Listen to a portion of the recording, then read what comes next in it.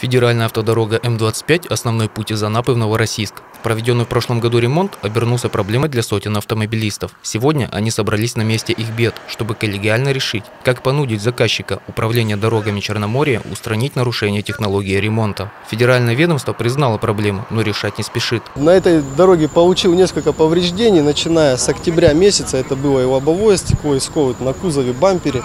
Вот. На прошлой неделе у меня вылетело боковое. Вот. И начал, как говорится, ну, скажем так, заниматься сам этим вопросом, начал интересоваться, искать источники, а, вот. узнал, кто подрядчик, кто заказчик. Э, Ну и начал уже потом просто наблюдать за технологией, как говорится, производства работ, как это делать, в какое время и так далее.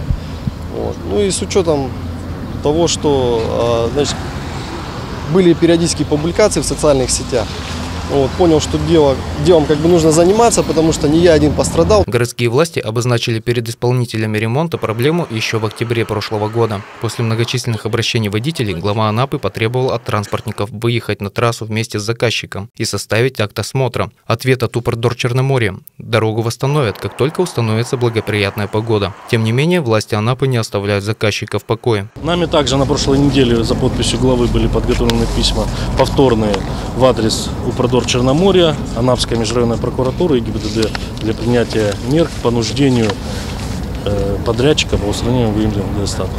Автолюбителям рекомендуют обращаться в суд. Все основания для требования возмещения ущерба есть.